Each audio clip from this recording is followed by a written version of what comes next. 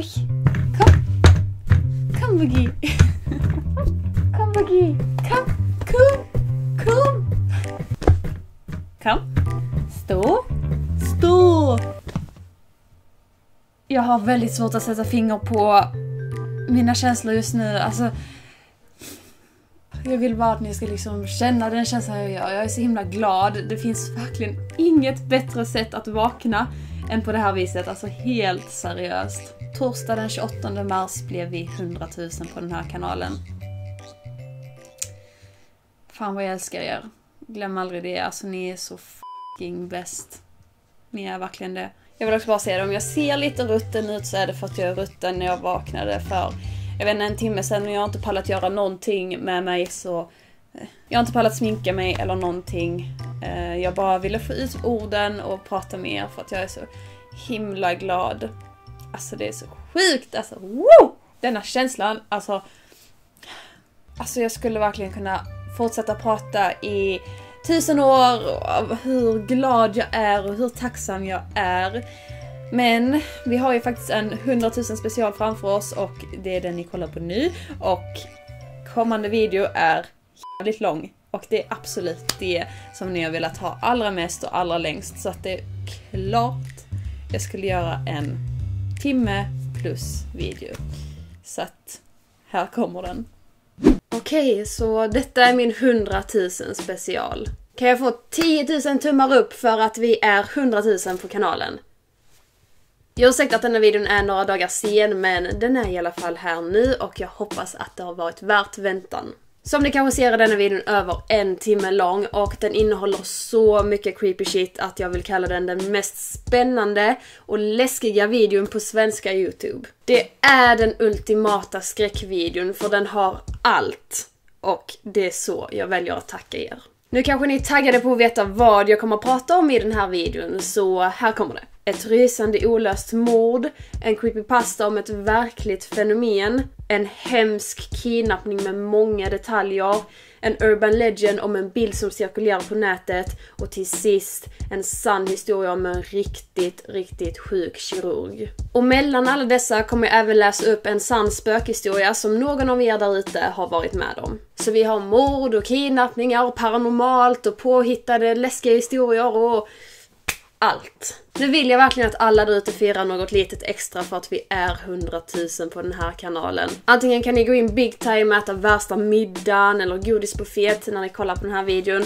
Eller så kan ni bara ta tillfället i akt att slappna av för en gångs skull och bara lyssna. Gör det som känns bäst, bara det känns bra för att jag mår riktigt, riktigt bra och det är tack vare er. Men nu tycker jag att vi kör igång.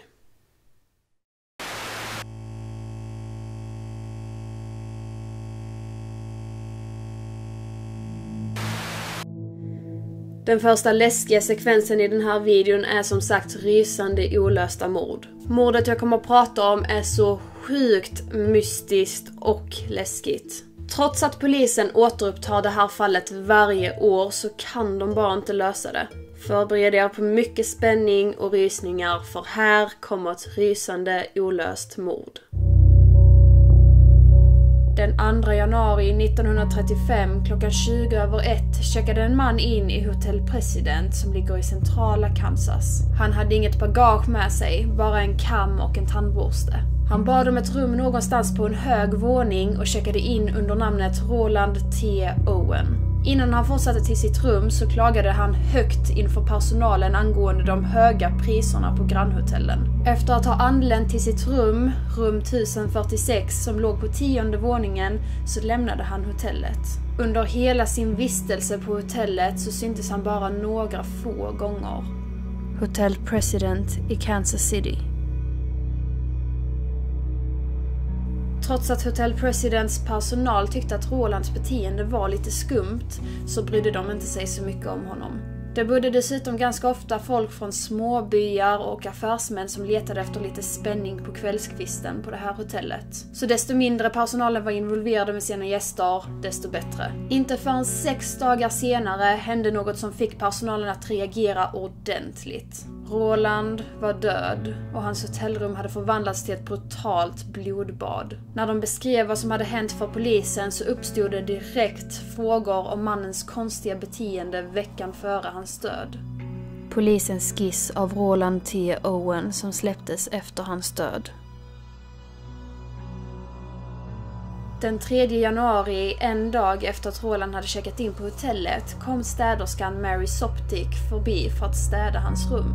Klockan var 12 på dagen och de flesta gästerna var ute på jobb eller äventyr. Men hur som helst så möttes Mary av att Rolands dörr var låst från insidan. Så hon knackade och Roland öppnade dörren. Han bad henne då att komma tillbaka senare, så det gjorde hon. När hon kom tillbaka och gick in i rummet så gick hon in i ett rum belagt i nästan fullständigt mörker. Persiennerna var neddragna och det enda ljuset kom från en liten, liten bordslampa med svagt ljus. Medan hon städade så nämnde Roland att en vän skulle komma på besök väldigt snart så hon skulle inte behöva låsa dörren efter sig när hon gick. Mary gick med på att lämna dörren upplåst och sen så lämnade Roland rummet. Fyra timmar senare återvände Mary till rum 1046 med nya handdukar. Dörren var fortfarande upplåst från när hon hade städat på eftermiddagen och när hon gick in så fann hon Roland fullt påklädd sovandes ovanpå sin nybäddade säng. En lapp låg på hans nattduksbord. Det stod “Jag kommer tillbaka om 15 minuter. Vänta. Don”. Nästa morgon, den 4 januari, så fortsatte Marys konstiga interaktioner med rum 1046. Klockan 10.30 gick hon under för att bädda sängarna och möttes av att Rolands dörr var låst från utsidan som det skulle vara när gästen hade lämnat rummet för gott. Förutsatt att Roland inte var där inne så öppnade hon dörren med sin huvudnyckel. Till sin stora förvåning så satt Roland där inne i mörkret i stolen i hörnet av rummet.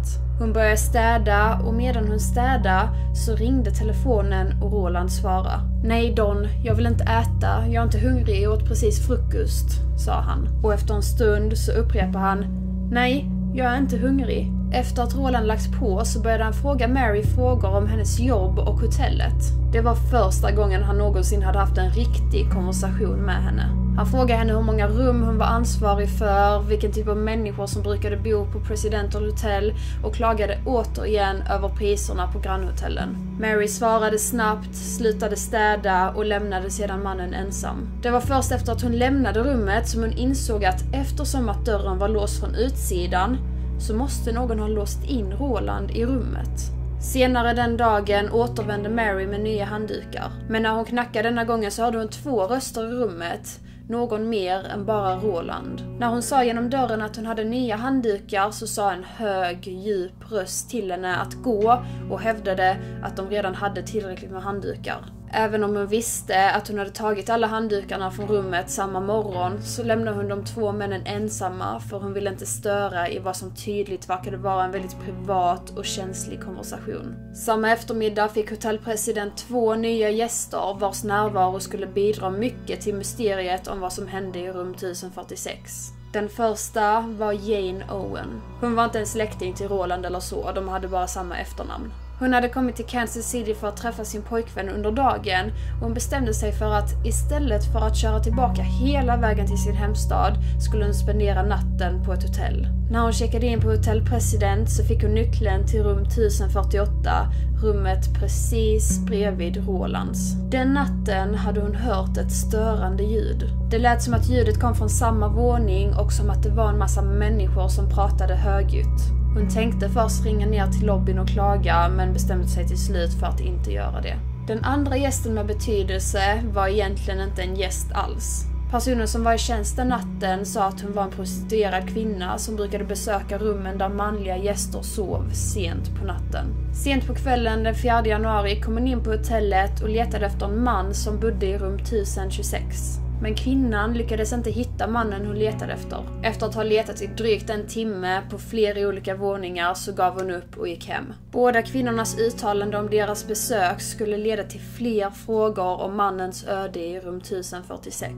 Nästa morgon fick en anställd ett telefonsamtal från hotellets telefonoperatör. Telefonen i rum 1046 hade varit igång i 10 minuter utan att någon hade använt den. Den anställde gick upp för att säga till Roland och märkte då att dörren var låst och att det hängde en stör ej-skylt på dörren. Den anställda knackade och Roland svarade att han fick komma in, men när den anställda berättade att dörren var låst så fick han inget svar. Den anställda knackade igen och ropade sedan till Roland att lägga på telefonen. Han antog att Roland var full och bara hade råkat välta ner telefonen så att den hängde i sin sladd. Men en och en halv timme senare så ringde telefonoperatören till den anställda igen. Telefonen i rum 1046 hade fortfarande inte lagts på. Den här gången gick den anställda in i Rolands rum med huvudnyckeln trots större Mannen låg naken på sängen, full. Han ville inte ha något med honom att göra så han gick bara och satte tillbaka telefonen på sin plats, gick ut ur rummet och låste dörren bakom sig. När han kom tillbaka ner till lobbyn så ringde han till sin chef och uppdaterade läget. Till sin förvåning så ringde telefonoperatören en timme senare igen. Telefonen var ännu en gång avtagen. Den här gången när den anställda öppnade hittade han ett blodbad. Roland satt ihopkrupen i hörnet av rummet med händerna i ansiktet och flera djupa knivskador. Sängkläderna och handdukarna var färgade med blod och väggarna var blodstänkta. Den anställde ringde till 911 och Roland fördes direkt till sjukhuset. Där märkte läkarna att Roland hade blivit aggressivt torterad. Hans armar, ben och nacke hade blivit fastbundna med någon typ av sladd och hans bröst hade flera knivskador. Han hade också en punkterad lunga och en spricka i skallen. Roland T. Owen uttalade stöd på sjukhuset strax efter hans ankomst. Läkarna upptäckte också att några få av knivsåren hade uppstått lite innan den anställde hade kommit upp till rummet första gången. De konstaterade att han hade försökt ringa efter hjälp flera gånger men aldrig kommit längre än att bara plocka upp telefonen på grund av hans skador. De ledande utredarna av Roland T. Owens fall, Frank Holland och Fred Green, När utredare sökte igenom rummet fortsatte fler frågetecken att dyka upp. Det fanns inga kläder i rummet och ingenting matchade beskrivningen av Roland från när han hade checkat in. Hotellets bekvämligheter såsom tvål och tandkräm saknades också och likaså allt som eventuellt skulle kunna vara mordvapnet. Det enda som noterades av utredarna var fyra små fingeravtryck på telefonen, men de identifierades aldrig tidningsrapportering om mordet i rum 1046.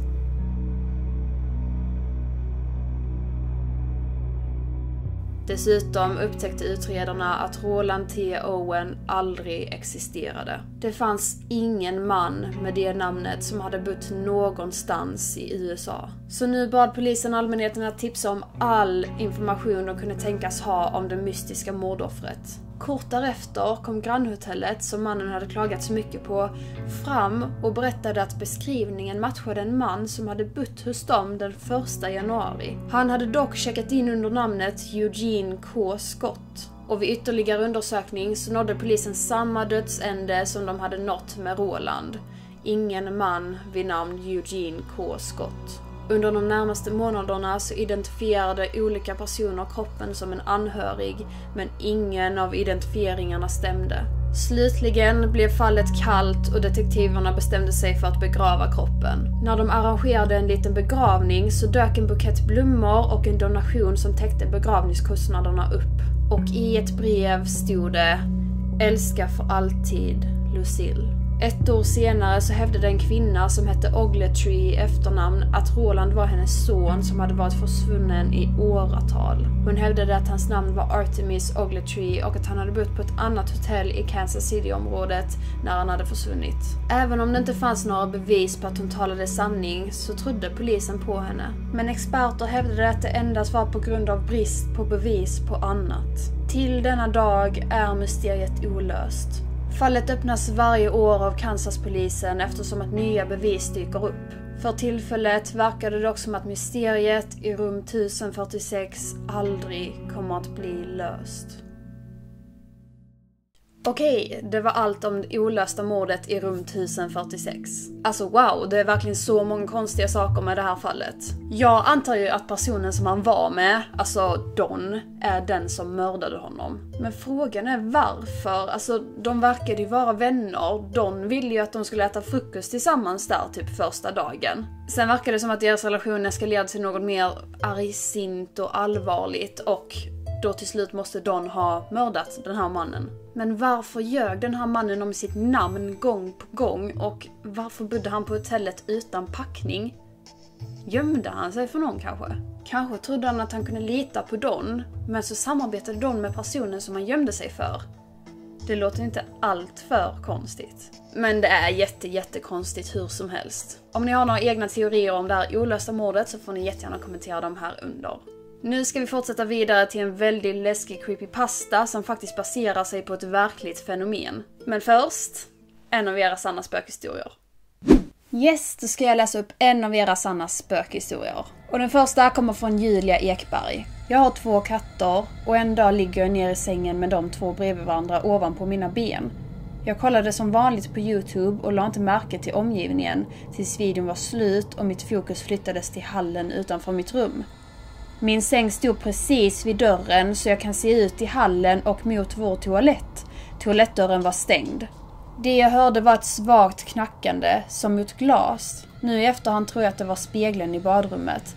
Men vi bor i ett hus så det var inte ovanligt om det lät ibland. Katterna ligger helt tysta och sover djupt i min säng. De snarkade till och med. Precis när jag skulle trycka igång en ny video så hör jag hur toalettdörren öppnas. Det tar knappt tre sekunder innan båda katterna exakt samtidigt hoppar av min säng åt motsatt riktning från dörren och fräser med uppburrade svansar. Detta kommer jag sent glömma och jag har ingen aning om varför de reagerade så. Det har aldrig hänt innan. Just att de gjorde det samtidigt också. Sover alltid med nattlampa numera. Ja, det där var ju en creepy händelse kan jag tänka mig. Jag är en hundmänniska och jag kan tycka att katter är lite smått läskiga. Så speciellt det här med att de liksom hoppar bak och liksom fräste och sånt. Ja, gud, det hade liksom skrämt mig lite om det var jag. Men yes, så kan det gå och hoppas att ingenting sånt händer igen. Då var det dags för mig att återberätta en läskig creepypasta. Namnet på denna creepypasta är Tulpa och den baserar sig som sagt på ett verkligt fenomen som faktiskt heter tulpa. Varje människa sägs ha en tulpa som går att ta fram genom extrem ansträngning och koncentration. Tulpan är som en annan person som har en egen vilja, egna minnen och egna känslor och som bor inuti ditt huvud. Med lång övning ska man kunna se, höra, känna och till och med lukta sin tulpa, även fast att den inte ens finns där. Creepypastan jag ska återberätta idag illustrerar detta fenomen och vad som kan hända om man lyckas ta fram sin tulpa.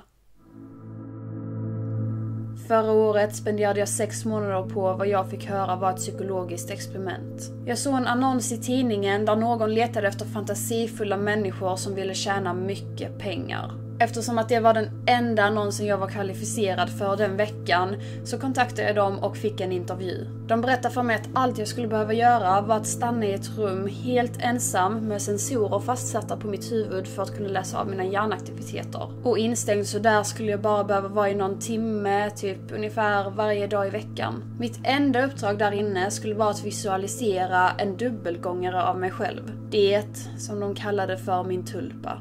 Det verkade lätt och jag gick med på att göra det direkt efter att de berättade hur mycket jag skulle tjäna och det var mycket. Redan nästa dag påbörjade jag experimentet.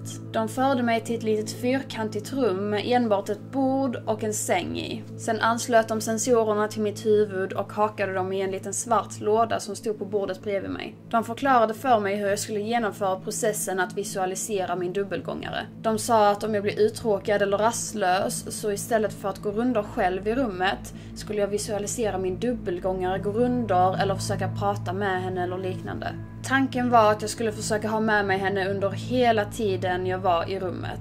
Jag hade lite problem med det de första dagarna. Det var mycket mer komplicerat än någon typ av dagdrömmande som jag hade gjort tidigare. Jag lyckades föreställa mig min dubbelgångare i några minuter, men blev sen distraherad. Men på den fjärde dagen lyckades jag hålla henne närvarande i hela sex timmar. Forskarna sa till mig att jag lyckades väldigt bra. Den andra veckan gav de mig ett annat rum, ett rum med vägghögtalare. De sa att de ville se om jag fortfarande kunde hålla tulpan med mig trots distraherande stimuli. Musiken var ojämn, ful och obekväm, så det gjorde processen lite svårare, men jag lyckades ändå. Nästa vecka spelade de ännu värre musik. Den innefattade skrik, något som lät som en rostig inringningsklocka, hesa röster som talade främmande språk och upprepande ord. Men jag jag skrattade bara åt det, för jag var ett proffs redan då. Efter ungefär en månad började jag bli uttråkad.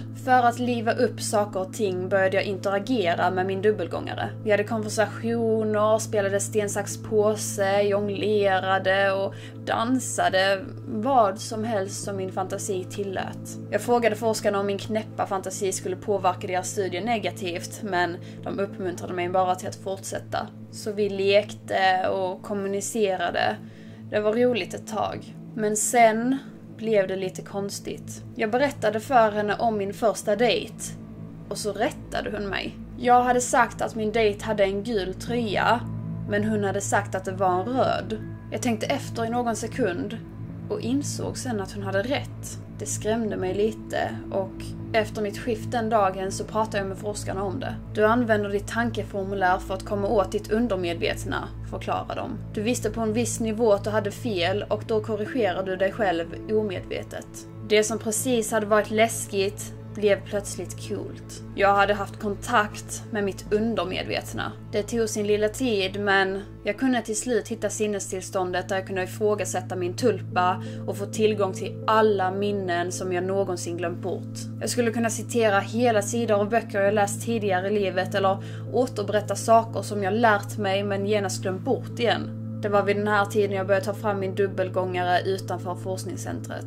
Jag gjorde inte det så ofta i början, men jag hade blivit så van vid att föreställa mig henne nu att det nästan tycktes konstigt att inte träffa henne. Så varje gång jag var uttråkad visualiserade jag min dubbelgångare. Så småningom började jag göra det nästan hela tiden. Jag tyckte det var roligt att ha med henne som en osynlig vän. Jag föreställde mig henne när jag hängde med mina vänner eller besökte min mamma. Jag tog till och med med henne på en dejt en gång. Jag behövde inte tala högt med henne. Jag kunde prata med henne genom att bara tänka. Ingen var smartare än mig så länge min dubbelgångare var där. Jag vet att det låter konstigt, men det var kul. Inte bara var hon ett livslevande förråd med allt jag visste och allt jag hade glömt. Hon verkade även veta mer om vad som försiggick i nuet än vad jag visste. Hon hade extremt bra koll på människors kroppsspråk, vilket jag inte ens visste att jag kunde någonting om. Jag trodde till exempel att dejten hon tog med mig på gick jättedåligt, men då påpekade hon till exempel att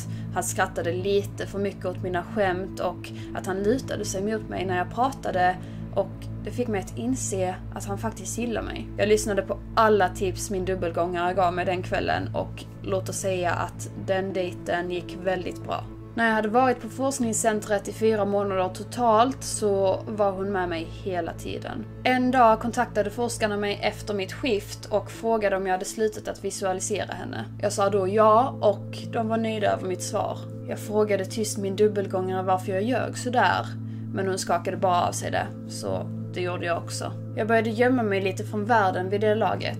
Jag hade börjat få problem med människor. De verkade så förvirrade och för osäkra för sig själva. Det gjorde att jag tyckte att socialisering var pinsamt. Ingen annan verkade medveten om orsakerna till varför de agerade som de gjorde. Vissa skrattade bara åt det och vissa blev arga eller ledsna. De visste ingenting, men jag gjorde, eller jag kunde åtminstone fråga mig själv och få svar. En vän konfronterade mig en kväll. Hon knackade hårt på dörren tills jag öppnade. Hon stapplade in rykande av ilska och svor högt. Du har inte svarat när jag ringer på flera veckor, vad är ditt problem? Jag var på väg att be henne om ursäkt och hade förmodligen erbjudit mig själv att följa med henne ut den kvällen.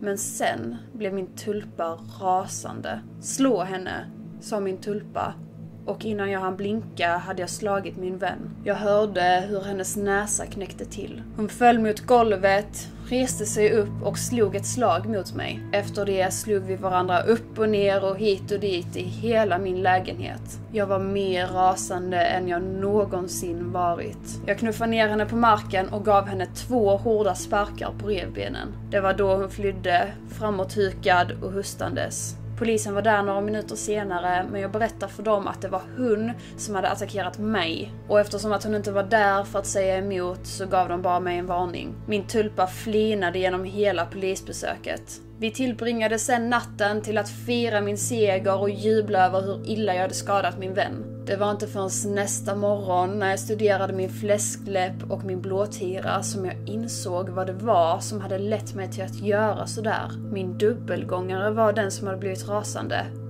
Inte jag. Jag hade känt mig skyldig och lite skamsen men hon hade lett mig in i ett slagsmål med min allra bästa vän. Hon var närvarande och kände av mina tankar. Du behöver inte henne längre och du behöver inte någon annan, sa hon till mig och jag kände hur jag började rysa över hela kroppen. Jag förklarade allt det här för forskarna som hade anställt mig, men de skrattade bara åt mig. Du kan ju inte vara rädd för något du föreställer dig sa de till mig. Min tulpa stod bredvid honom och nickade på hans huvud och flinade åt mig. Jag försökte lyssna på forskarnas ord, men under de närmaste dagarna blev jag mer och mer orolig för min tulpa. Det verkade som att hon hade förändrats. Hon såg längre och mer hotfull ut. Hennes ögon glimrade av ondska och jag kunde dessutom ständigt se ondskan i hennes leende. Inget jobb och inga pengar var värda att förlora mig själv för, intalar jag mig själv.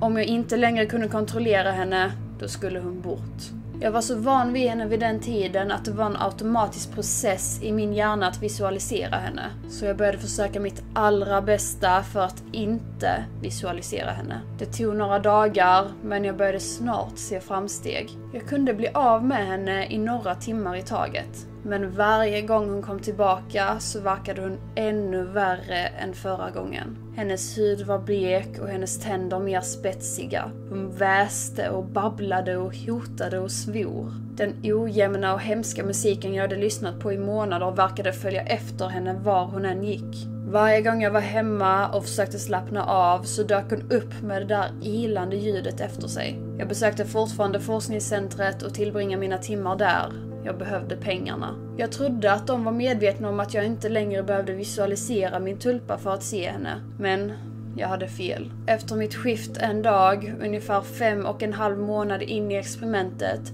så tog två män fast mig och en man i labbrock tryckte in en hypodermisk nål i min arm. Jag vaknade upp i forskningsrummet, fastbunden i sängen och musiken spelade på högsta volym och min dubbelgångare stod lutad över mig och skrattade. Hon såg knappast mänsklig ut längre. Hennes ögon såg ut att tillhöra ett lik. Hon var mycket, mycket längre än mig, men hukade sig fram. Hennes händer var vridna och hennes naglar var som klor. Kort sagt skrämde hon mig något fruktansvärt. Jag försökte föreställa bort henne men jag kunde bara inte koncentrera mig. Hon fnissade och satte in en spruta i min arm. Jag försökte dra i banden som höll fast mig i sängen men jag kunde knappt röra mig alls. De pumpar dig full av den här skiten. Hur mår du? Är du snurrig igen? Hon lutade sig närmare och närmare mig när hon talade med mig. Jag klöktes. Hennes andedräkt luktade som ruttet kött. Jag försökte fokusera men kunde inte få bort henne. Den kommande perioden var hemsk. Varje dag kom någon i en labbrock in och injicerade något i mig eller försökte tvinga mig att äta något piller. De försäkrade sig helt enkelt om att jag alltid var yr och okoncentrerad. Ibland lämnade de mig bara där i rummet, hallucinerande och helt förvirrad. Men min dubbelgångare var fortfarande närvarande, ständigt hånfull. Jag hallucinerade att min mamma var där och skällde på mig. Då skar min dubbelgångare henne i halsen och hällde hennes blod ovanpå mig. Det var så äkta att jag kunde smaka det. Forskarna pratade aldrig med mig längre. Jag bad ibland, skrek, krävde svar, men de pratade aldrig med mig. De kan ha pratat med min tulpa, mitt personliga monster. Jag var så dopad och förvirrad att det kanske bara var en illusion men jag är säker på att de pratade med henne. Jag blev övertygad om att hon var den riktiga människan och att jag var tulpan. Hon uppmuntrade mig till att tänka så vissa gånger, men andra gånger retade hon mig bara. En annan sak som jag verkligen hoppas var en illusion var att hon kunde röra mig. Mer än så, hon kunde skada mig. Hon petade och tog på mig om hon kände att jag inte gav henne tillräckligt mycket med uppmärksamhet. En gång tog hon tag i mitt bröst och pressade hårdare och hårdare och slutade inte förrän jag sa att jag älskade henne. En annan gång skar hon min underarm med hennes klor. Jag har ett ärr från det idag. Men jag övertygade mig om att det var jag som skadade mig själv och bara hallucinerade att det var hon som hade gjort det. Sen en dag när hon berättade om hur hon skulle mörda alla jag älskar och att min syster var först, så stannade hon upp. En bekymrad min korsade hennes ansikte. Hon sträckte sig fram och rörde vid min panna, så som min mamma brukade göra när jag hade feber. Hon satt så länge och sen log hon. Alla tankar är kreativa, sa hon till mig. Sen gick hon ut genom dörren. Tre timmar senare fick jag en till spruta och svimma av. Jag vaknade upp och var inte längre fastbunden. Skakandes tog jag mig fram till dörren. Den var olåst. Jag gick ut i den tumma korridoren och började sedan springa. Jag snubblade flera gånger men lyckades ta mig ner för trappan och ut till parkeringen bakom byggnaden. Där trillade jag ihop och grät som ett litet barn. Jag visste att jag var tvungen att fortsätta fly, men jag kunde inte.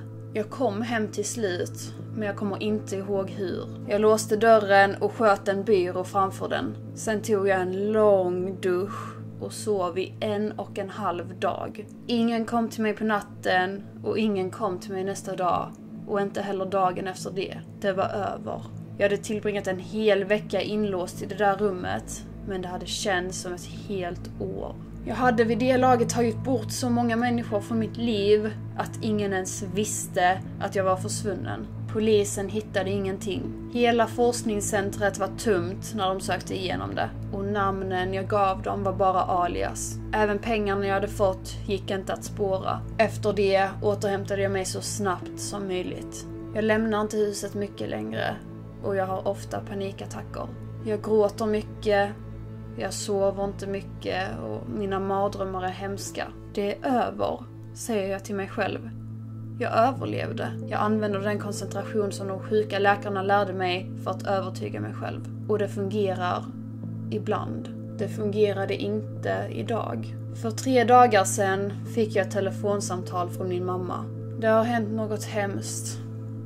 Min syster har dött. Och begravningen var i eftermiddag. Den var så fin som en begravning bara kan bli. Men jag var dock lite distraherad. Allt jag kunde höra var musik som kom från ett avlägset ställe. Diskreta, oroliga ljud som lät som skrik och modem uppringning på samma gång. Jag hörde fortfarande, men lite högre nu.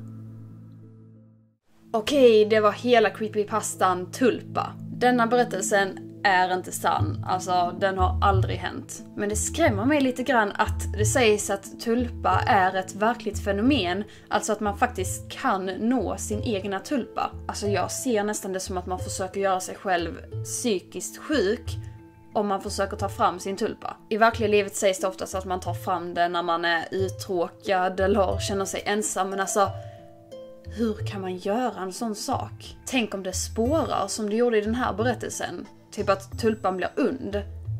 Alltså nej tack. Skulle du våga eller vilja ta fram din tulpa?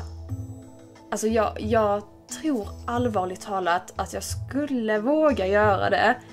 Men jag skulle absolut inte vilja göra det. Typ om jag skulle få något riktigt, riktigt bra, typ asmycket cash, för att göra det. Så då kanske jag skulle göra det. Men annars nej aldrig. Men jag tycker i alla fall att detta är en väldigt bra och läskig creepypasta och den har väldigt högt betyg på creepypasta hemsidan så ja. Mm. Ja, ja. Näst på tur är den sanna berättelsen om kidnappningen på Alisa Kosakiewicz. Men som ni vet ska jag först läsa upp en av era sanna spökhistorier. Denna sanna spökhistorien kommer från Julia Sigvardsson. Sann historia. Det var en morgon när jag var hemma själv med min lillebror. Jag låg i min säng på övervåningen och hade ganska nyss vaknat. Då hörde jag att någon smög upp för trappan. Jag hörde på stegen att det var min lillebror så jag sa Du behöver inte smyga, jag är redan vaken. Då blev det tyst. Sen när jag frågade om han hade gått upp för trappan hade han inte det. Vet fortfarande inte vem det var. Det hände också en liknande grej några veckor senare. Jag och min lillebror var på hans rum, som också är på övervåningen. Vi hörde att vår pappa sprang upp för trappan. Så min lillebror och jag sa, vad vill du? Ungefär. Men ingen svarade, för pappa hade inte sprungit upp för trappan. Det konstiga är att jag aldrig blivit rädd när detta hänt. Det har hänt flera gånger, men jag är ganska glad över det. Okej, så jag har typ en teori över det här när man antingen blir rädd eller inte rädd när en sån här sak händer. Och det är typ antingen så är det en skyddsängel eller någon närstående som verkligen har älskat dig eller som vill skydda dig och då känner du inte dig rädd för det är liksom den energin som utstrålas. Om du blir rädd så kanske det är någon som inte har stått dig nära, som liksom har bott i huset tidigare eller liknande eller så, ja i värsta fall kan det ju vara en ond ande liksom. Men ja, i det här fallet var det säkert någon som skyddar dig eller någon närstående som har gått bort ifall du vet någon i din närhet som har gått bort. Det är i alla fall min teori. Och ja, det är jättebra att du liksom inte känner någon rädsla över det. Då var det dags för kidnappningen på Alicia Kosakiewicz. När hon var 13 år gammal gick hon ut från sitt hem i Pittsburgh för att träffa en person som hon hade chattat med online. Och vad som skedde därefter blev sedan till en livslevande mardröm.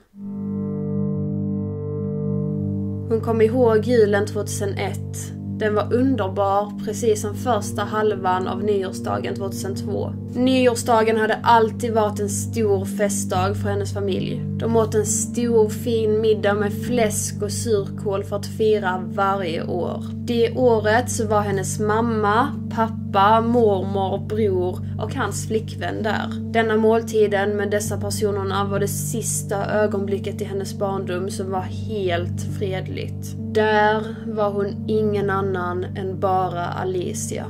Vid någon tidpunkt mellan middagen och efterrätten så frågade Alicia sin mamma om hon fick gå och vila lite. Hon sa att hon hade magont. Kort därefter så satt hon i en bil med en man som omedelbart fick henne att frukta för sitt liv. Vad som hade hänt var att hon smög iväg bakom den stora julgranen som stod precis vid ytterdörren. Hon öppnade dörren och trippade försiktigt ut för att träffa den här personen som hon trodde var hennes vän. Det var inte likt Alicia att göra något sånt här. Hon var ett barn som var väldigt rädd för mörkret och hatade kylan. Ingen trodde någonsin att hon skulle gå ut ensam i mörkret utan en vuxen. Hon var bara inte det barnet som gjorde så. Men hon gjorde det. Hon gick försiktigt längs gatan som var täckt av is. Det var verkligen ingen utomhus förutom henne. Det var så tyst. Läskigt tyst. Som om snön hade lagt sig som isolering. Inga hundar skällde, inga bilar körde. Det hördes inget annat än snön som krossades under hennes fötter. När hon stod i kvarterets hörn så mumlade hon för sig själv. Vad håller jag på med? Det här är jättefarligt, jag måste ta mig hem igen. Så hon vände sig om och började gå tillbaka hem. Men då hörde hon en man som ropade hennes namn. Innan hon hann blinka satt hon i en bil med honom och hon visste direkt att detta inte skulle ha ett lyckligt slut. Alicia vid familjedatorn, 13 år gammal. Alicias barndom fram tills dess hade varit helt fantastisk. För det mesta av hennes barndom så var mamman hemma, så hon fanns alltid där för henne. Samma sak med hennes bror som var nio år äldre än henne. Alicias pappa arbetade väldigt långa timmar, men när han väl var ledig så prioriterade han familjetid. Så de var en lycklig familj. Barndomen var fylld med oändligt många bra minnen. När Alicia ser tillbaka idag så var hon ett riktigt lyckligt barn. När hon var liten så trodde hon att alla människor sjöng och dansade som de gör i Disneyfilmer. Hon trodde det var så människor betedde sig och hon trodde de uttryckte sig med sång och dans när de var glada. Hon blev enormt krossad när hon fick reda på att världen inte är en musikal där alla sjunger och dansar som hon hade trott. Det var hennes storebror som introducerade henne till internet. Han spelade alltid spel online. Diabollo var en av dem. Alicia själv var inte intresserad av det specifika spelet, men hon lärde sig att internet var ett bra ställe att träffa nya vänner på. Hon trodde att alla människor på nätet bara var ute efter att skaffa vänner och att alla var lika oskyldiga som henne och hennes familj. Vid den tiden hade de alldeles precis fått in internet i sitt hem och föräldrarna trodde att de hade gett sina barn en fantastisk gåva. De hade tidigare pratat med båda barnen om faran med främmande människor, men det kändes annorlunda med främlingar online än främlingar man träffar ute på gatan. Människor på nätet var ju främlingar i början, men så fort man lärde känna dem så var de ju vänner.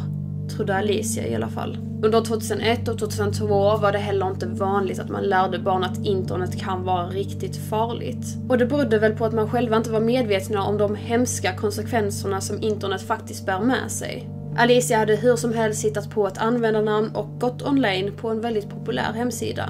Hon och hennes vänner pratade om allt mellan himmel och jord där. Detta var innan nätmobbning blev en grej och det verkade som att alla kom överens på nätet.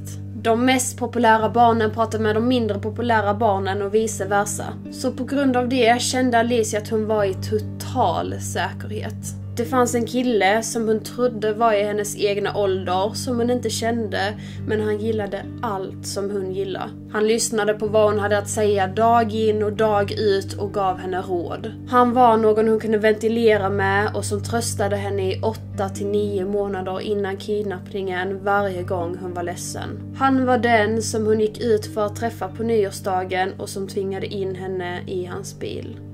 En efterlysningsaffisch som spred sig både i verkliga världen och över nätet. När Alicia väl var inne i bilen grep han tag om hennes hand så hårt att hon trodde den var bruten. Han skrek på henne om och om igen. Han kunde säga saker som Var duktig nu, var tyst.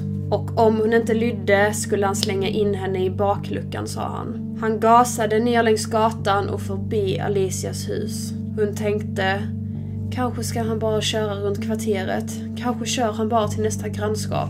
Hon uppmärksammade alla gatuskyltarna och det gick från gatunamn som var väldigt bekanta till gatunamn som hon aldrig någonsin hört om. Efter en stund kom de fram till en vägtull och Alicia tänkte, det här är min chans. Det är nu jag kommer räddas eftersom att personen i tullen kommer tänka Oj, där sitter ett gråtande barn bredvid den mannen. Och tänka, vad är det som händer? Och sen kommer de ringa till polisen och så kommer det vara över. Men mannen i tullen såg inte henne, eller trodde helt enkelt att inget var fel, så bilen rullade vidare. Alicia tittade ut genom fönstret och såg alla ställen som hade telefoner och funderade över vad som skulle hända om hon hade en telefon. Vad skulle hon säga till sin familj? Hur skulle hon ta sig ur detta? Låta dem veta att hon var i fara? Det låg en stor rädsla inom henne som fruktade att den här personen bara skulle stanna bilen och döda henne vilken sekund som helst. Han fortsatte att köra i ungefär fem timmar från Pittsburgh. Slutligen stannade han bilen. Han drog ut henne ur bilen och kastade henne in i huset. Han fortsatte sedan att dra henne ner för en trappa som tycktes fortsätta för alltid. Den gick otroligt långt ner under marken och den svängde som om det var en oändlig labyrint. När de väl stannade så stod de framför en dörr med hänglås på. Han öppnade och knuffade in den stackars flickan. På väggarna fanns en massa objekt som en 13-åring på den tiden verkligen inte kände igen. Han klädde av henne och sa det här kommer bli riktigt tufft för dig så det är okej att gråta. Efter det satte han på ett stryphalsband runt hennes nacke, ledde henne upp till hans sovrum och våldtog henne. När han var klar så kedjade han fast henne till golvet precis bredvid hans säng. Hon blev våldtagen, slagen, torterad både psykiskt och fysiskt i det där huset i fyra dagars sträck. Flickan gjorde allt vad hon kunde för att överleva. Oavsett hur förödmjukande, smärtsamt eller äckligt det var. Hon hade ingen kontroll över sitt öde. När hon en gång slog honom för att skydda sig själv så slutade det med att han bröt hennes näsa. Tanken slog sedan henne att han hade redan kidnappat ett barn, han hade redan gjort hemska saker mot henne. Varför skulle mord vara någonting han inte kunde göra? Så hon gjorde som han sa hädanefter. På den fjärde dagen sa han jag börjar gilla dig alldeles för mycket så ikväll ska vi åka på en liten tur. Hon visste vid den tidpunkten att det inte fanns något hon kunde göra för att protestera. Hon visste bara att han tänkte mörda henne. Den dagen så matade han även henne för första gången på fyra dagar innan han gick till jobbet. Alicia grät och bad. Hon tänkte på allt hon skulle göra om hon var starkare eller en karaktär i en superhjältefilm. Hon tänkte, han kommer att döda mig. Men jag kommer inte ge mig utan en kamp. För tänk om jag kan vinna. Men sen insåg hon att hon redan hade förlorat så många gånger. Hon var på väg att förlora allt hopp. Hon tänkte mycket på sina föräldrar under dessa dagarna. Hon visste att de letade efter henne och att de älskade henne. Hon tvekade inte en enda sekund på att de skulle göra allt för att hitta henne. Hon visste också att de aldrig skulle sluta leta förrän de hade hittat sin dotter. Frågan var bara om de skulle hitta henne levande eller död. Hon tänkte, när var sista gången jag sa till dem att jag älskar dem? Vet de hur mycket jag älskar dem? Alicia började acceptera sin egen död. Sen, på den fjärde dagen, hörde hon ljudet av arga män som bankade på dörren där nere. Eftersom att hon i princip hade tappat allt hopp och var så rädd så trodde hon att de var där för att döda henne. Hon rullade in under sängen för att försöka gömma sig för dem och var så tyst som möjligt. Hon hörde att de rörde sig snabbt genom huset och att de ropade “Clear, clear, clear”. Idag skulle hon veta exakt varför de skrek så, men just då hade hon ingen aning. Slutligen kom en man in i rummet där Alicia gömde sig. Hon såg stora, svarta stövlar längs sidan av sängen. En man beordrade henne att krypa ut under sängen och lägga sig på rygg med händerna upp i luften. Hon drog den kalla, tunga kedjan med sig ut och försökte samtidigt som hon höll upp händerna täcka sin nakna kropp. Hon låg där, helt naken och stirrade rakt in i ett pistolrör. Hon tänkte det är nu jag dör. Sen vände sig mannen om och hon såg FBI på baksidan av hans jacka. Samtidigt rusade en massa agenter in i rummet. De skar bort kedjan från flickans nacke och hjälpte henne upp. Medan Alicia var fast hos kidnapparen så hade han sänt live medan han gjorde saker mot henne. En av tittarna hade då känt igen den lilla tjejen det var tjejen från efterlysningsaffischerna. Tittaren ringde då till numret som ledde till FBI och gav dem användarnamnet som kidnapparen hade på hemsidan. Genom detta fann FBI mannens IP-adress som ledde till Alicia. Timingen var perfekt. Enligt Alicia skulle mannen vara tillbaka halv fem och när FBI stormade in i huset så var klockan tio över fyra. Hade de kommit 20 minuter senare hade flickan kunnat vara i mannens bil på väg att bli mördad. Hon hade kunnat dö den dagen, men de hann rädda henne precis i rättan tid. En artikel som publicerades efter att Alicia var funnen vid liv. År 2003 dömdes Alicia Kosakiewicz kidnappare Scott Tyree för att ha fört en underårig över statliga gränser i syftet att ha sex samt att ha producerat sexuellt uttryckliga bilder med denna underåring. Han dömdes till 19 år och 7 månader i fängelse. Idag är Alicia en fullt utbildad psykolog som jobbar med barn och familjer utsatta för bortföranden eller sexuellt utnyttjande av barn. I åratal kämpade Alicia med sina personliga relationer till män. De mest kärleksfulla och försiktiga vidrörelserna kunde plötsligt kännas onda och menade att skada henne. Men dagen efter hon tog examen så gifte hon sig. Hennes man stöttar henne i allt hon gör. Han är en väldigt bra kille och framförallt en bra vän enligt Alicia.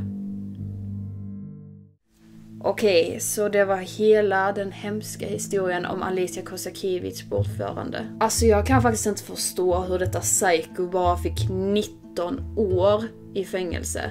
Tänk att det snart har gått 19 år sedan detta hände. Han är alltså fri om tre år. Alltså det är inte okej. Han förtjänar livstid och då menar jag bokstavligen talat livstid. Inget annat. Jag blir så ledsen och arg på sånt här. Alltså, det äcklar mig något otroligt. Jag är i alla fall glad att hon verkar ha kunnat gå vidare med sitt liv och mår bra idag. Hon har och kommer nog hjälpa många som har varit i samma sits som henne. Nu ska vi hur som helst gå vidare till nästa historia. Och det är äntligen dags för en riktigt rysande urban legend, men ja, först en sann spökhistoria. Denna sanna spökhistorien kommer från Majken Eriksson. Min kompis sov hos mig. Jag sover i en våningssäng så jag sov där uppe i den och min kompis där nere. Mitt i natten vaknade jag av att lampan till sängen där nere tändes. Den var tänd väldigt länge och jag undrade varför den var det. Jag kollade ut i rummet och jag vet inte riktigt om jag såg något. Vet inte riktigt om jag inbillar mig ett brunt hår, men helt plötsligt släcktes den. Nästa dag hade jag glömt bort vad som hade hänt under natten, men min kompis sa Just det, jag vaknade i natt av att du tände lampan vid sängen jag sov i och sen stod och stirrade på mig, bytte tröja och sen släckte lampan. Hon sa också att hon verkligen kände min arm som sträcktes över henne och släckte lampan. Jag småsprang sedan ut ur rummet och sedan hör min kompis att jag ligger i sängen ovan. Vi frågade alla i min familj om de hade varit i mitt rum på natten, men ingen hade det. Shit, vad sjukt! Alltså, nu, om hon bara hade sagt så typ dagen efter allt det här, så hade det kanske inte varit så konstigt för man ville ofta skrämma upp varandra när man var lite yngre så här, eller i alla fall jag och mina vänner gillade att göra det. Men det sjuka med den här berättelsen är att du själv som skrev det här också såg någonting. Och det... Mm, tänk ifall du hade sagt till din kompis som sov där nere att Hallå, varför är lampan tänd? Och så inser hon att du ligger ovanför även fast hon ser någon som hon trodde var du stå där. Fattar ni? Det hade ju varit fett läskigt för er. Mm. Nu ska jag prata om en ganska så skrämmande urban legend. För er som inte vet så är en urban legend en berättelse som har gått från person till person till person. Och den kan antingen vara sann, eller falsk, eller en blandning av det hela. Dagens Urban Legend kallas för Smile Dog och handlar om en bild som cirkulerar på nätet. Denna berättelsen är skriven i jag-form, så jag kommer återberätta den på det viset, men det är inte mig som det har hänt. Så nu kommer legenden om Smile Dog. Jag träffade Mary E sommaren 2007. Jag hade arrangerat med hennes man Terence att få träffa henne på en intervju. Mary gick med på det eftersom att jag inte var någon lurig journalist. Jag var bara en student som samlade lite information till några skoluppgifter. Vi planerade intervjun för en viss helg när jag var i Chicago på jobbuppdrag, men hon ångrade sig verkligen i sista sekund. Hon låste in sig i sitt sovrum och vägrade att träffa mig. I en halvtimme satt jag utanför hennes sovrumsdörr med Terence.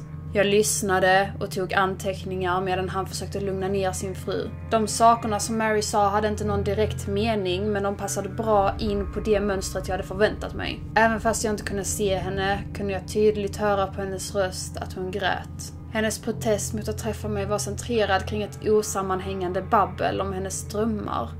Hennes mardrömmar rättare sagt. Terence bad om ursäkt när vi till slut lämnade Mary i fred och jag gjorde mitt allra bästa för att acceptera det. Jag var ju trots allt inte en journalist på jakt efter en historia, bara en oskyldig ung man på jakt efter information. Dessutom trodde jag att jag bara kunde hitta ett annat liknande fall om jag bara försökte. År 1992 såg Mary för första gången Smile.jpeg och det förändrade hennes liv för alltid. Hon och Terence hade varit gifta i fem månader då. Mary var beräknad att vara en av 400 personer som såg bilden när den först publicerades som hyperlänk på BBS. Men hon är den enda som har talat öppet om erfarenheten.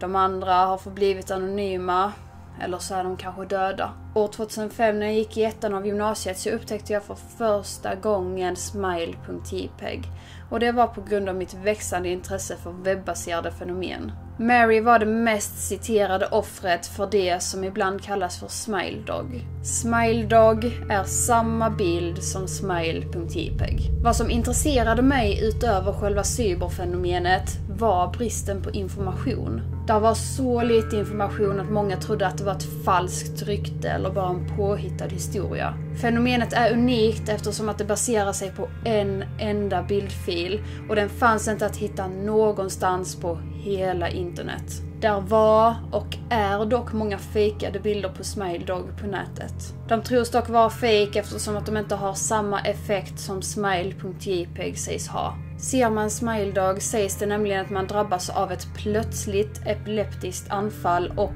panikångest. Denna påstådda reaktion är anledningen till att så många betraktar Smiledog som trams eftersom att det verkar otroligt osannolikt. Varken smile.jpeg eller Smiledog nämns någonstans på Wikipedia, även om ännu mer skandalösa fenomen nämns där som till exempel hello.jpeg och ja, two girls one cup. Alla försök att skapa en sida om smile.jpg eller smiledog tas gång på gång bort av en av Wikipedias många administratörer. Marys historia är inte unik. Det går till exempel ett rykte om att smile.jpeg spammades i ett forum av en hackare år 2002. Det var en hel flod av smiledog-bilder vilket orsakade att nästan hälften av forumets användare fick ett epileptiskt anfall. Det sägs också att smile.jpeg skickades rundor i en massa kedjemail på 90-talet med ämnesraden “Smile, God loves you”. Trots den stora exponeringen som dessa kedjemail genererade så är det väldigt få som erkänner att de har fått ett sånt här mail. Och inget spår av bilden eller någon länk har någonsin upptäckts. De som hävdar att de har sett en bild på smile.jpeg säger att de var alldeles för upptagna för att spara ner bilden till sin hårddisk eller att de helt enkelt inte bara tänkte på det. Men hur som helst så beskriver alla som har sett fotot den här bilden på exakt samma vis. En hundliknande varelse, ofta beskriven som en sibirisk husky, futtad med blixt sittandes i ett mörkt rum. Den enda bakgrundsdetaljen som är synlig är en mänsklig hand som sträcker sig ut ur mörkret i bildens vänstra sida. Handen är tum och det ser ut som att den sträcker sig efter någonting. Självklart så uppmärksammar man hunden mest. Djuret ser aggressivt ut och visar upp två rader av vita, vassa, raka, mänskliga tänder.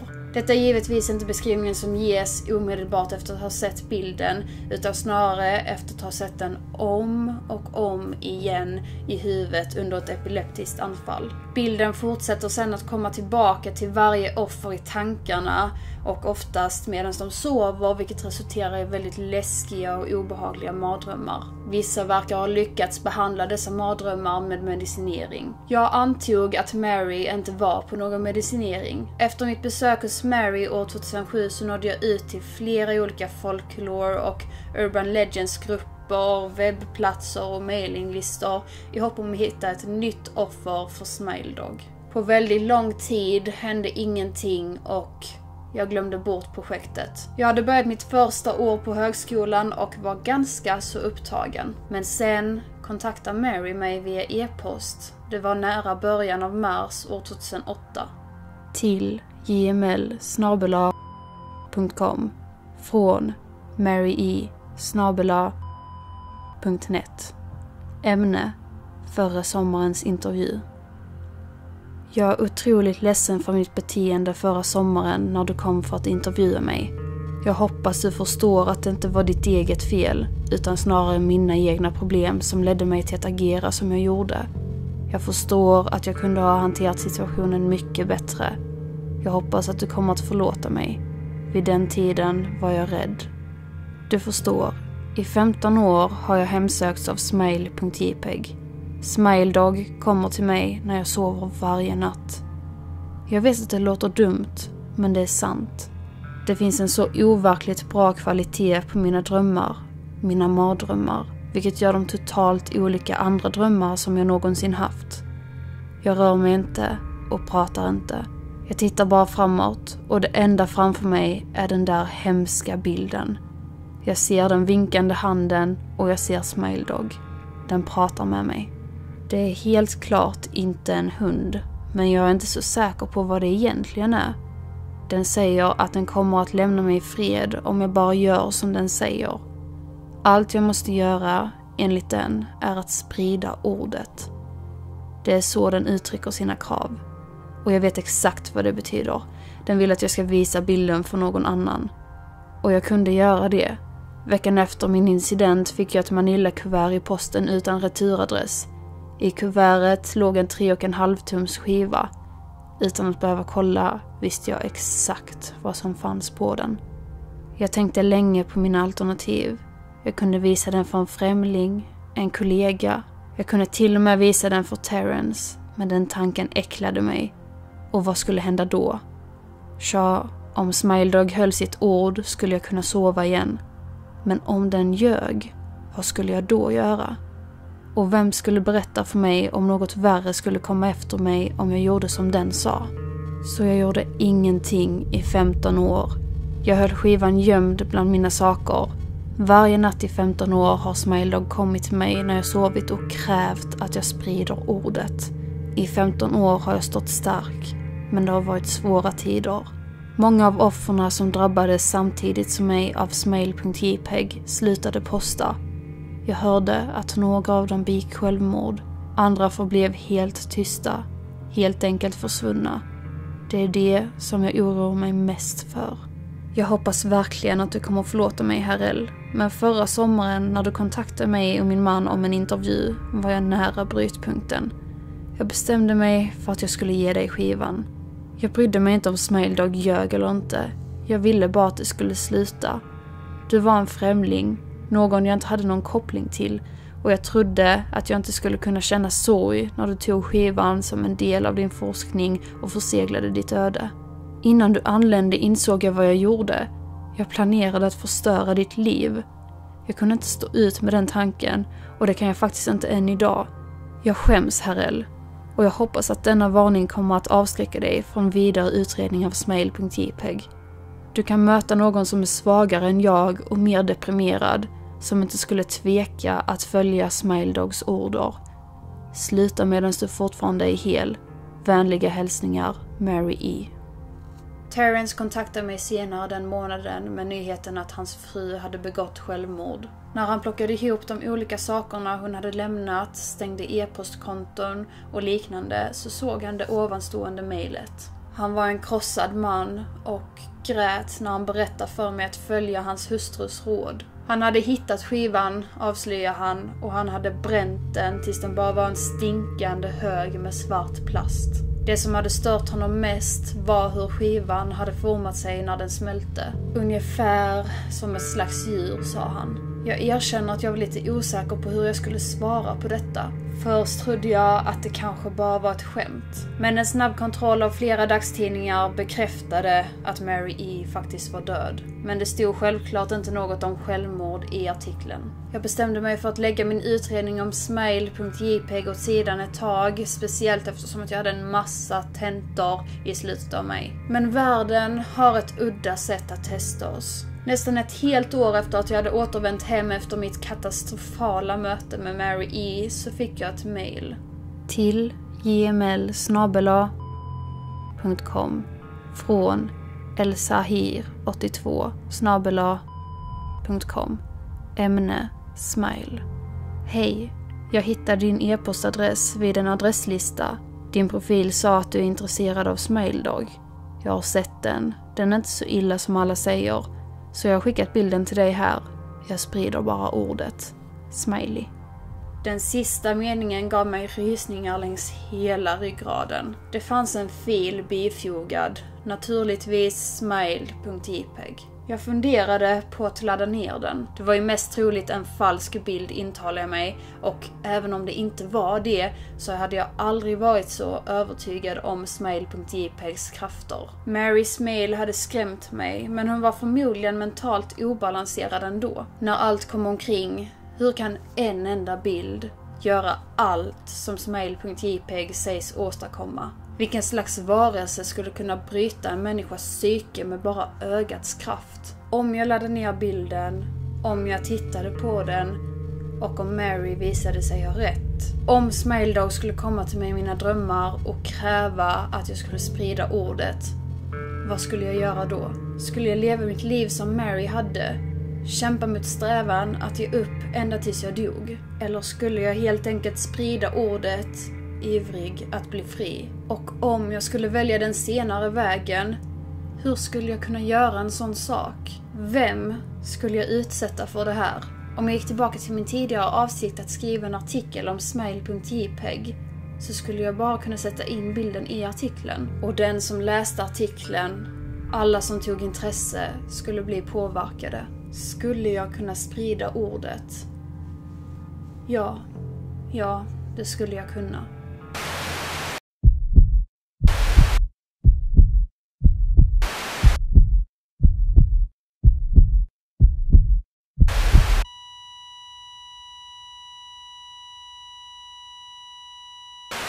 Ooh, vågade ni kolla på bilden eller? Jag har ju sett den här bilden flera gånger eftersom att jag både har planerat och redigerat den här videon så att, eh, ja.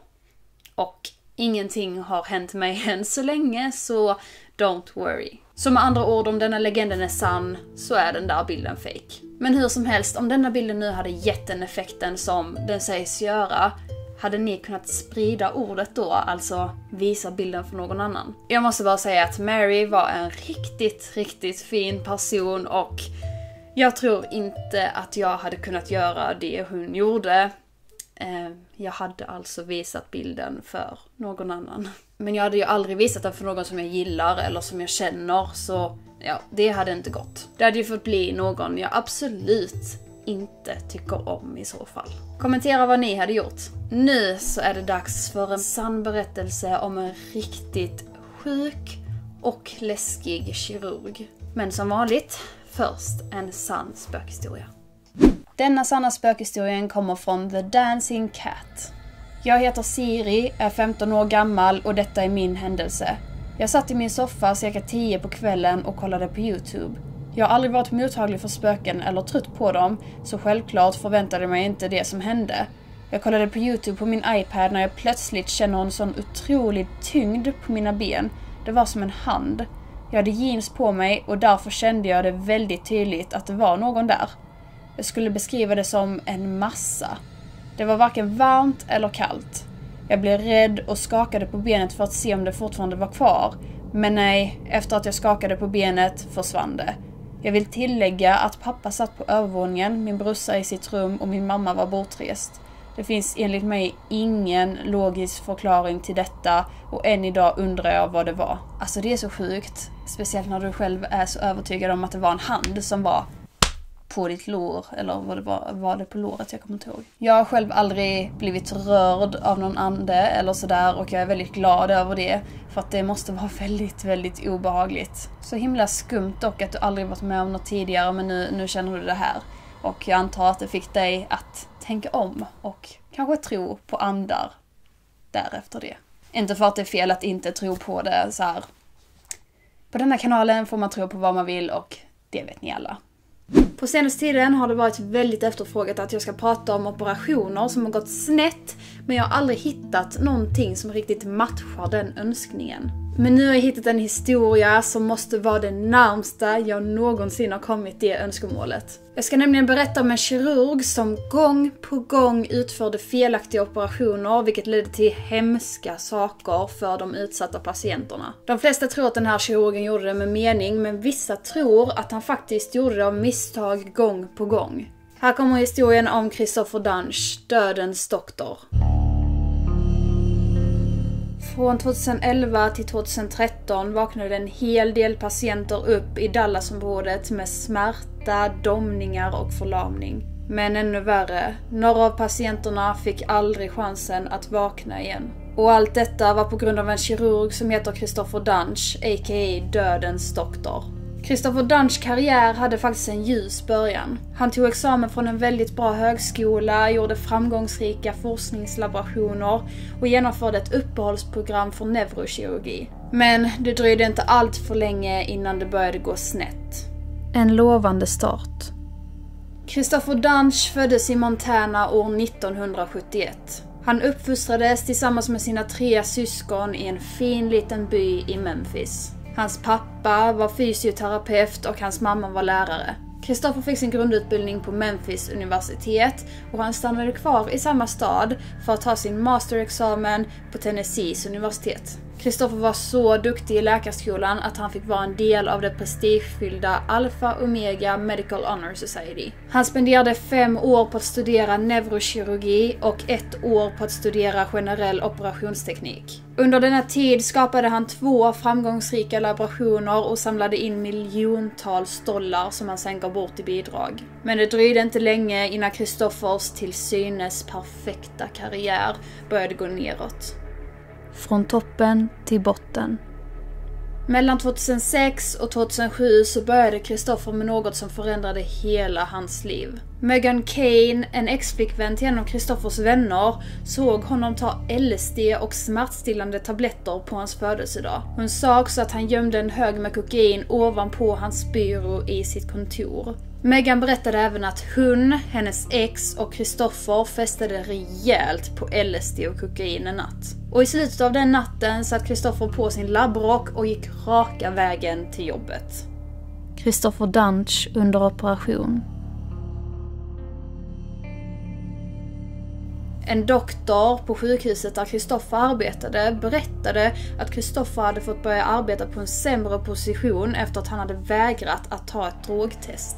Han började då fokusera på sin forskning ett tag, men rekryterades sen till Minimally Invasive Spine Institute i Dallas sommaren 2011. Efter att han anlände till staden så säkrade han en affär med Baylor Regional Medical Center i Plano och fick kirurgiska rättigheter på sjukhuset. Kristoffers offer under två år opererade Christopher Dunge 38 olika patienter i Dallasområdet. Av dessa 38 lämnades 31 förlamade eller allvarligt skadade och två av dem dog. Genom det hela lyckades Kristoffer vinna tillit hos sina patienter och medarbetare på grund av hans extrema självsäkerhet. Dr. Mark Hoyle, som arbetade tillsammans med Kristoffer under några av hans operationer, berättade att Kristoffer ibland kunde säga sjukt arroganta saker. Han kunde till exempel säga alla andra kirurger gör fel, jag är den enda som gör rätt i hela staten. Innan han arbetade med Kristoffer så sa han att han inte riktigt visste vad han skulle tycka och tänka om sin blivande kollega. Men när han väl hade arbetat med honom så sa han att han trodde att Kristoffer antingen var riktigt duktig eller så var han riktigt, riktigt arrogant och bara trodde att han var duktig. Det hela oroade honom. Ännu en bild på Kristoffer Dunch under operation av en patient. Han utförde enbart en operation på Minimally Invasive Spine Institute. Kristoffer avskedades efter den operationen och lämnade direkt staden för att åka till Las Vegas. Han brydde sig inte om ödet hans nu allvarligt skadade patient stod inför.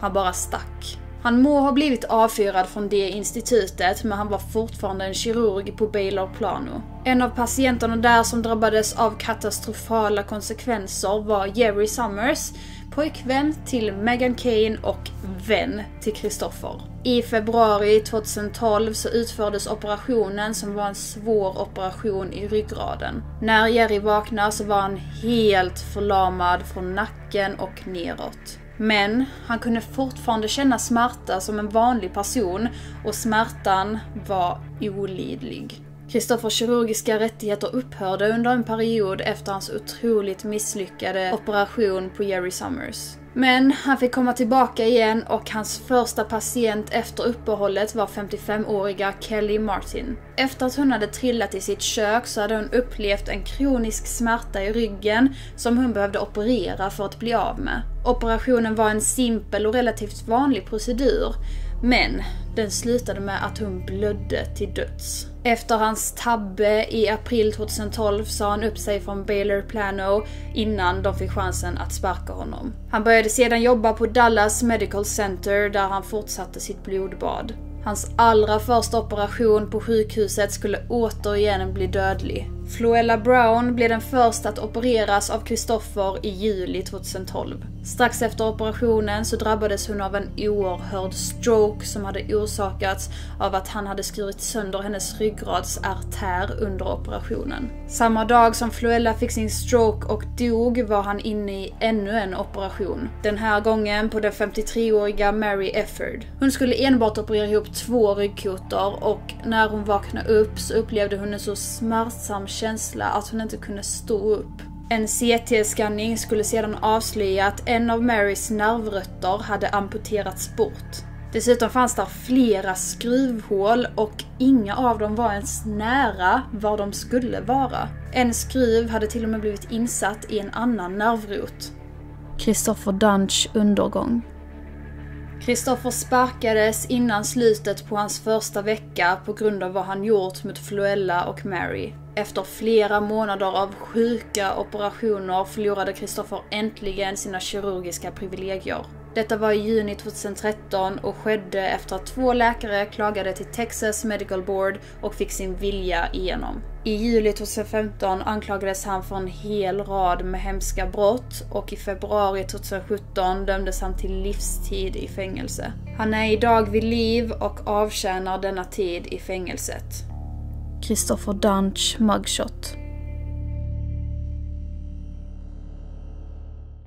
Det var allt om den sjuka kirurgen Christopher Dunch. Alltså fy vad tur att han åkte in i fängelse, alltså usch. Helt galet ändå att det tog så lång tid att få fast honom, alltså det var ju uppenbart vad han höll på med, alltså enligt mig. Det är riktigt skrämmande att det finns människor som är så här högt uppsatta som kan göra så mot andra människor. Jag tror ju då att han absolut var medveten om vad han höll på med. Han må ha varit hög många gånger men jag tror han visste vad han gjorde. Så usch, alltså enligt mig, han förtjänar verkligen sitt straff om inte värre. Såna här historier ger mig så himla mycket trust issues för sjukvården. Jag hoppas att en sån här sak aldrig någonsin skulle hända i Sverige. Alltså utifrån att typ jag, eller du, eller någon annan som står nära mig skulle behöva opereras. Usch, vad tycker ni? Förtjänade han sitt straff eller tycker ni att han borde ha fått något mildare, inkludera typ rehab för hans drogberoende? Kommentera er åsikt. Alltså wow, om du har kollat på den här videon hela vägen hit, kommentera fantastiskt då, eller något. Ni som har klarat er hit, wow, bara wow. Jag har ju ställt lite frågor efter varje historia genom den här videon och om ni vill ha ett litet formulär för att svara på alla de här frågorna så har jag klistrat in det nere i beskrivningen. Ni måste ju såklart inte svara på frågorna, det är bara om ni känner för. Och den sista frågan jag vill ställa till er idag är Vilken av de här berättelserna tyckte du var allra, allra bäst? Och då menar jag vilken som var mest intressant, spännande, läskig. Ja, ni får motivera ert svar där varför ni tyckte just den historien som du väljer är bäst. Enligt mig så står det nog mellan det rysande olösta mordet och kidnappningen för att kidnappningen var så hemsk och rörande. Eh, men Rysande olösta mordet var så spännande och det är så mystiskt så jag fastnar verkligen i det. Sen vill jag bara passa på att tacka er en sista gång för 100 000 prenumeranter. Alltså, det betyder så mycket för mig och det motiverar mig som in i bomben. Så nästa stopp, 200 000. Tror ni vi klarar det? Jag tror det. Hoppas nu att ni är nöjda med den här specialen. Det ligger mycket kärlek och arbete bakom ska ni veta. Men det var allt. Glöm inte att du är bäst och att jag älskar dig. Hejdå!